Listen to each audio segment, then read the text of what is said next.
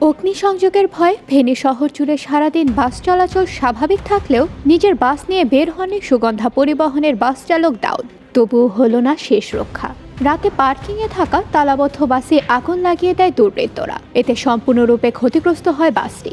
এখানে কিন্তু ষড়যন্ত্রভাবে এই গাড়িটাতে আগুন দেওয়া হয়েছে। এখন রাজনৈতিক বিষয় নিয়ে কি ষড়যন্ত্র করছে নাকি ব্যক্তিগত বিষয় নিয়ে ষড়যন্ত্র করছে সেটা এখন আমি শিউর বলতে পারতেছি না। যে আমরা যে হরতাল অবরোধে যে আমাদের প্রধানমন্ত্রী একটা নির্দেশনা দিয়েছে যে হরতাল অবরোধে গাড়ি চালানোর জন্য একটা আশ্বাস দিয়েছে। আমাদেরকে আশ্বাস দেওয়ার পরেও আমরা গাড়ি চালানোর চেষ্টা করতেছি। কিন্তু তার পাশাপাশি যে আমাদের গাড়ি বইটা গাড়িতে স্টানে টার্মিনালের মুখে পয়েন্টে গাড়িতে আগুন লেগে দিয়েছে। কিন্তু আজ যদি আমার যদি জীবনটা চলে যায়, তাহলে আমার জীবনটা ফিরে দিবে কে? একমাত্র আমার উপরে আল্লাহ ছাড়া কেউ না যে মাননীয় জেলা প্রশাসনের প্রতি আমরা দৃষ্টি আকর্ষণ করছি, কে বা কারা আগুন লাগাচ্ছে তাদের প্রতি, এটা খতিয়ে দেখার জন্য আহ্বান জানাচ্ছি।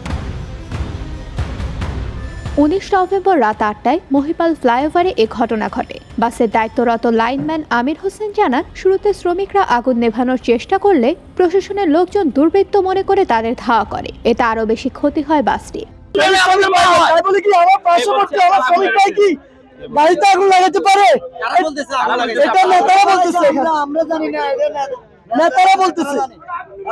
এবং কি? আমরা আগুনটা আমরা নিবেছি আমরা আমরা নিবেছি, কত কষ্ট করে নিবেছি আমরা আমরা তারা চিন্তা করি না আমরা আগুন নিবেছি সবাই। আমরা যেহেতু খেলা দেখতেছি, আমরা এই জায়গায় খেলা দেখতেছি সবাই দেখছি আগুন জ্বলতেছে। সবাই জানেন মায়া করিনু দুইটা গাড়ি আমরা বাঁচাইছি। ওখানে কোনার দোকানে খেলা দেখতেছি মাঝে দিয়ে দেখতেছি আগুন উঠতেছে।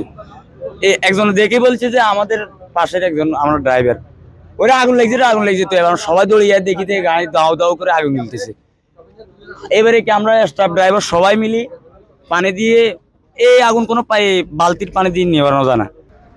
পুলিশ ও ফেনী ফায়ার সার্ভিসের চেষ্টায় নিয়ন্ত্রণে আসে আগুন। এ ঘটনায় যথাযথ আইনানুক ব্যবস্থা গ্রহণ করা হবে বলে জানিয়েছে ফেনী মডেল থানা।